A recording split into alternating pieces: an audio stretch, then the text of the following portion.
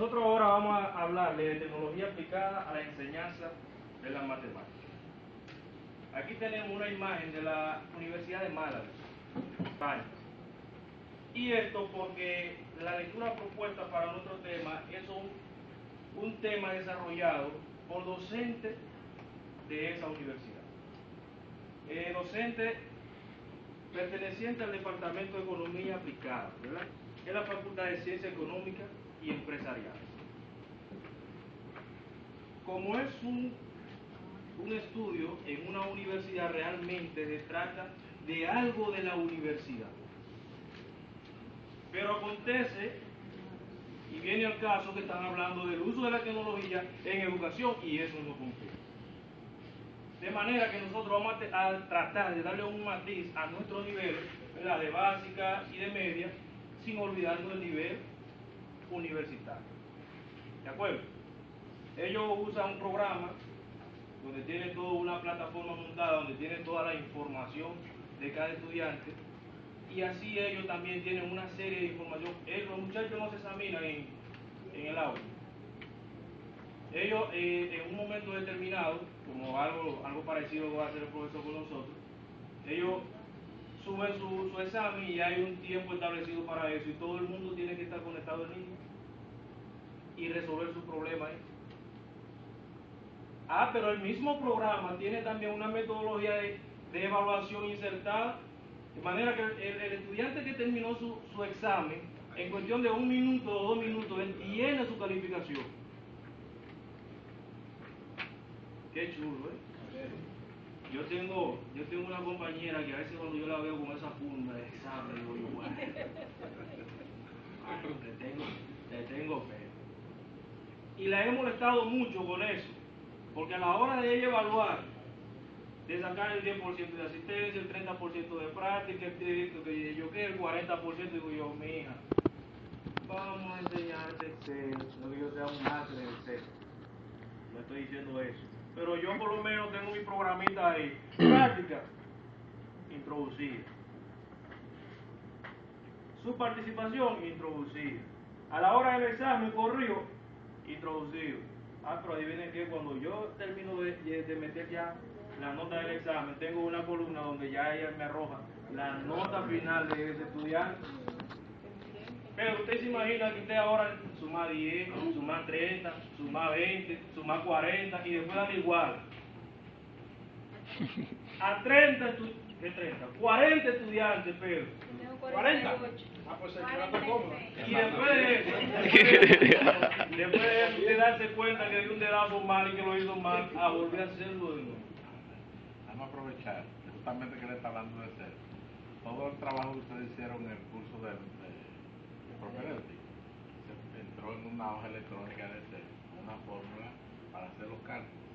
Pero eh, encontramos el, el, el, coordinador y yo un pequeño error que nos obligó a revisar esa, esa calificación, porque al parecer la, la sumadera, algo ocurrió que no, que no respondía a la realidad. Así que también hay que observarla con criterio, con mucho cuidado, porque uno asume que todo está bien, pero uno tiene que evaluar lo que estamos diciendo esta mañana, la ciudad que tengo condiciones de hacer una evaluación de resultados que se van. Pues, porque la tecnología, ella es ciega, ella hace lo que uno ordena. Pero nosotros no, nos tiene, nos tiene que, estar, que estar atentos, porque hubiese sido un, un, poco difícil para nosotros que el señor coordinador no hubiese visto el, el digo, pero esta, esta suma no da, eh, o sea, no, no coordina la suma con estos números que están aquí. Entonces ahí fue que nos dimos cuenta de todo. Ya lo sé, eso es a propósito del uso de la web electrónica. Para que tenga cuenta. sí, no, muy bien, muy bien la, la sugerencia. Pero recuerden ustedes también que la práctica hace maestro. Esa, esa observación usted será capaz de hacerla cuando ya usted tenga manejo de ser. ¿Verdad? Porque es, es muy cierto. Hay números que no cuadran. Pues si yo estoy evaluando a un estudiante en base a 100, ¿cómo es que al final no va a 101, 102? No puede ser. Hay un problema. ¿Verdad que sí? Hay un problema. Entonces, yo tengo que estar en capacidad de poder detectar esa falla y de ver inclusive dónde está el problema. Pero, punto para el otro examen. pero eso, señores, pero eso Eso lo da la práctica. Por eso nosotros hoy, el mensaje de nosotros es que se ponga a apoyar. ¿Cómo? Que se ponga a apoyar. Apoyar la computadora, muchacha de Estamos carajo. hablando, estamos hablando de tecnología, ¿verdad? Pero, Tenemos uso de la TIC en la educación. Eh, las nuevas tecnologías pueden emplearse en el sistema educativo de tres maneras distintas. Uno, como objetivo de aprendizaje. Dos, como medio para aprender. Y tres, como apoyo al aprendizaje. En el objeto número uno, el estado actual de cosas es normal considerar la nueva tecnología como objeto de aprendizaje en sí mismo. ¿Qué quiere decir esto? Que esto nos permite o permite que los alumnos se familiaricen con el, ordenador y adquieran las competencias necesarias para el mismo como un instrumento útil a lo largo de los estudios, en el mundo del trabajo o en la formación continua cuando sean adultos. Eh, parece contradictorio, pero voy a diferir un poquito de esta parte. Dice, permite que el alumno se familiarice con el ordenador. Sí, es verdad. Pero lo único que quiero agregar es que él está familiarizado hace mucho. Y demasiado. ¿Verdad que sí? O sea, eh, eh, volvemos otra vez entonces a nosotros como docentes tratar de orientar a esos muchachos por, eh, por la vía en que ellos puedan sacarle mejor provecho a las nuevas tecnologías. En el punto 2, se considera que las tecnologías son utilizadas como un medio de aprendizaje cuando es una herramienta al servicio de la formación a distancia. La formación a distancia quiere decir la formación no presencial. ¿Verdad que sí? Todos sabemos que hoy en día, gracias a la nueva tecnología, gracias al Internet, nosotros podemos educarnos desde aquí en una universidad española, en una universidad de Estados Unidos o en una universidad de cualquier parte del mundo a través de la tecnología. ¿Verdad que sí? De eso también es posible. Pero donde la nueva tecnología encuentra su verdadero sitio en la enseñanza es como apoyo al aprendizaje. Y esto quiere decir que la tecnología así entendida se hallan pedagógicamente integradas en el proceso de aprendizaje. Tienen su sitio en el aula, responden a una necesidad de formación más proactivas y son empleadas de forma cotidiana. La integración pedagógica de la tecnología difiere de la formación en la tecnología y se enmarca en una perspectiva de formación continua y de solución personal y profesional como un saber aprender. Aquí tenemos TICs e informática. Y esto, esto quizás está un poquito fuera ya del tema que no corresponde, pero me llamó también la atención porque eh, muchas veces lo hacemos, que es eh, ligamos una cosa con otra y hay diferencias. O sea, con frecuencia se confunde la nueva tecnología con la informática.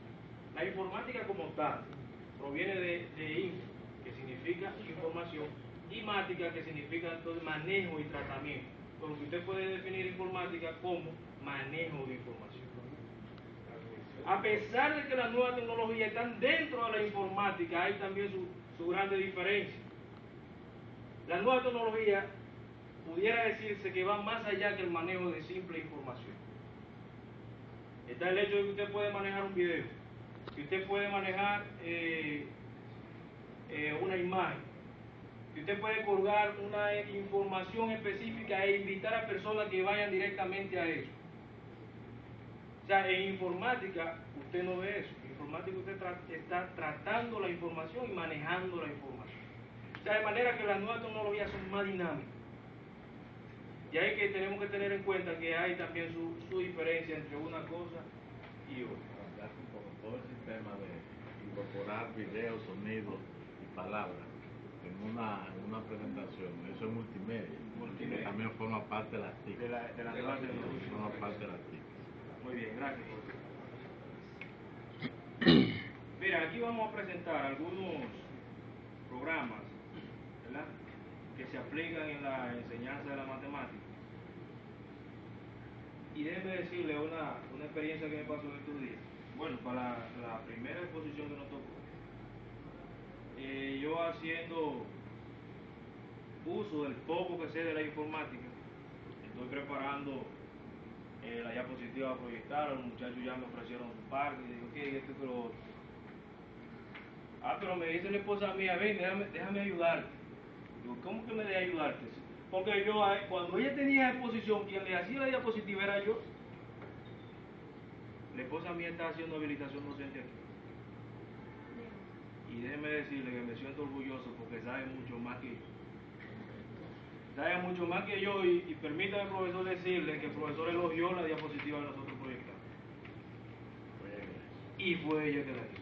Me refiero a, a la, la organización, o sea, toda la información fue de nosotros, grupo de nosotros. Formato. Pero el formato y las imágenes, la foto y la cosa, fue ella quien eh, es autoría suya. Y yo quedé sorprendido, digo yo, no, no, no, para la próxima tú me vas a ayudar de nuevo. Claro, porque yo he visto ya la diferencia, digo, bueno. Volviendo a lo, a lo nuestro, aquí hay un programita que se llama Derive, que se aplica en la enseñanza de la matemática. Tenemos otro que se llama Calibri 2, Calibri Web. Eh, volvemos a Excel, WinGeo, Geometría, Click, J-Click que le están enseñando a la esposa ahora mismo. Esto eh, tengo conocimiento porque ella me habló de eso. Mira una cosa. GeoGebra, un buen... Eh, GeoGebra, que también lo usamos nosotros allá en Vicente Noble. O sea, lo usamos en una, en una capacitación, un diplomado que hicimos. De el proyecto Gauss. De eso algunos son libres que usted lo encuentra, usted lo encuentra en YouTube y lo puede descargar y funciona muy bien, sin pagar nada. Sí. Pero en la página de Educando también hay varios software que se utilizan para enseñar. Realmente hay muchísimo. A los maestros. Realmente hay muchísimo. Lo que nosotros traemos hoy es, es la orientación de que eso está. Y vuelvo y le repito, la capacidad que tenemos no es para que venga nadie a orientarnos a nosotros lo que tenemos que hacer. Claro está, seamos humildes. Si hay alguien que me quiere ayudar con buena intención, yo tengo que agradecer eso. Y no creerme tampoco me lo sé todo. Pero uno como ser humano se cuestiona, se hace preguntas Autoevaluación. se hace autoevaluación. Esas preguntas que usted puede hacerse tienen respuesta en la red. Esa- esa- están ahí, ¿de cuáles son? Este de aquí, Puede, sí. este de, Derive. de River, sí. Que yo, yo tengo ese software. Usted tiene ese. Este de aquí es el GeoGebra. Así que incluso lo de por, por, porque a veces yo lo incluía en el material, pero como ustedes tienen una materia que se llama tecnología aplicada, la información la comunicación, aquí solo damos un tema introductorio, lo dejamos para trabajarlo allá, pero todo no, no había tiempo para trabajar. Y, y obviamente este que se ve aquí, como se ve, ¿verdad? Ese es el J-Click. Y esta hoja que está aquí es una hoja de Excel. Oye, el de GeoGeo se digita así mismo en YouTube. GeoGebra, sí. Geo- GeoGebra. GeoGebra. Si lo escribe mal también te corrigen. Bueno, cuando usted escribe Geo con G, ya le, le aparecen algunas alguna sugerencias. Cuando usted vea GeoGebra, usted le da eso. Ya hay una versión, me parece que es 4.0, 4.1, pero que funciona muy bien. Muy bien, con la intención que haya sido de su agrado, ahí tenemos mi pequeña bebé, que es más, más que yo. Y ahí tiene una, una pequeña computadora. Y vuelvo y le repito, nosotros estamos viviendo en la época de... Déjame, déjame algo. Cuando nosotros incorporamos elementos tecnológicos en la docencia, hay que tener cuidado con algunas cosas. Porque la tecnología en sí es un atractivo. Y a veces ciertos artificios tecnológicos nosotros utilizamos desvían la atención del alumno y en vez de enfocarse en, en los conceptos y las ideas principales que le queremos tratar, se enfocan en los efectos que está produciendo la tecnología. Entonces, en ese caso, tenemos resultados eh, en el sentido de que, no, de que por más tecnología que dispongamos, lo central es lo pedagógico. Él lo dijo, él lo dijo, lo central es lo didáctico. O sea, tú tienes que preguntarte, ¿en qué contribuye este recurso al objetivo educativo que yo persigo? Si tú contestas bien esa pregunta, tú utilizas ese recurso. Si no puedes contestar la pregunta, mejor déjalo a un lado y busca otra cosa. Porque siempre tiene que estar en función del objetivo máximo de todo educador, es lograr que sus alumnos sus alumnos acreditan. En el caso, por ejemplo, en el caso de PowerPoint hay reglas fijas para hacer PowerPoint. No sé si se lo mencioné a algunos de ustedes en alguna de las clases. Le dije, le dije por ejemplo, no poner mucho texto en un PowerPoint. Número uno, no poner muchas diapositivas con formatos diferentes cada una. Número dos, no utilizar más, si van a colorear cosas, no utilicen más de tres colores. Ya cuatro o cinco colores desvían la atención de, del alumno. En los efectos, por ejemplo, el efecto de sonido, hay que manejarlo con cautela, porque el efecto del el sonido puede producir un, un efecto contrario, una distracción contraria a lo que la- a lo que, a lo que se busca. Y lo mismo podríamos decir en el caso de los, en el caso de los, de los videos. Por ejemplo, nosotros seleccionamos unos videos para el curso y, y, y creo que eran perfectamente adecuados al tema que se estaba, que se estaba tratando. O sea, tener ese, esa cautela y ese, ese cuidado en ese, en ese proceso. De todas maneras, yo creo que aunque el curso es introductorio, pero la mayoría ha asimilado bastante bien el problema de incorporar tecnología en la enseñanza y, y me parece que, que va un poco más allá de nuestras expectativas como curso introductorio. De modo que me alegro mucho y, y los, los felicito. Muchas gracias. Antes, antes de que terminemos, antes de que terminemos, eh, nos gustaría modelar un video que hicimos aquí de la, del grupo anterior, que ya inclusive está en la red, está en YouTube y está en Facebook. Entonces, eso, eso, eh, dándole, dándole también, eh, eso. no, no, le voy a cobrar yo a ustedes. Eso da, eh, dándole de verdad fuerza a lo que estamos diciendo, todo lo que se puede hacer desde un salón de clase. Y eso lo tomamos con un, con un teléfono celular. ¿Verdad que sí? Entonces, vamos a ver si el profesor tiene alguna otra aclaración mientras nosotros nos preparamos esta parte. No era reforzar todas las cosas.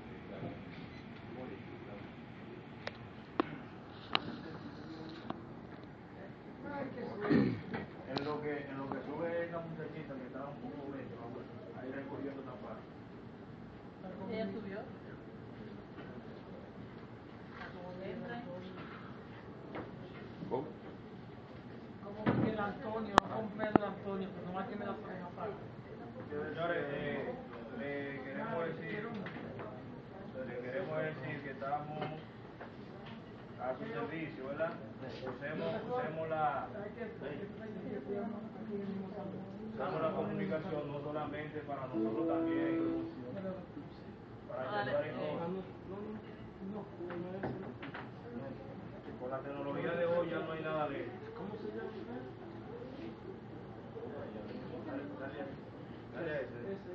Majero, ¿cómo se llama? YouTube. Este ese está ahí, pero vamos a reproducirlo de la computadora. Eso depende, depende de la- Es verdad eso, eh. Yo voy a hablar con eso.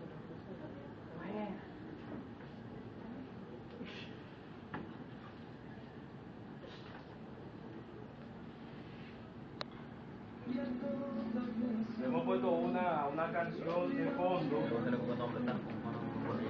Porque ya lo que nosotros hablamos aquí, todos sabemos.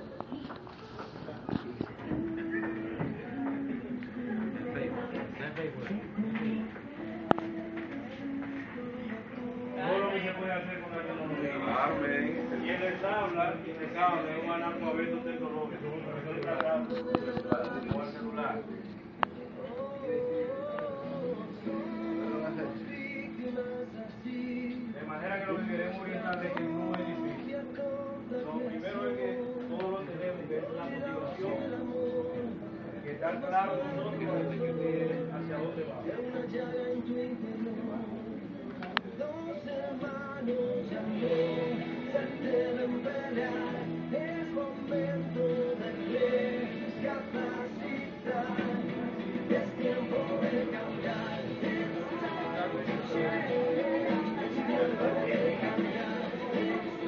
de televisión va a salir ya, ya se está colgado en la red. Acerca la pantalla, cosa que es que ya lo tenemos.